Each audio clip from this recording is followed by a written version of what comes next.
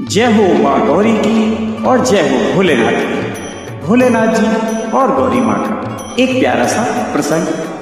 भजन। शिव ठहरे संज्ञा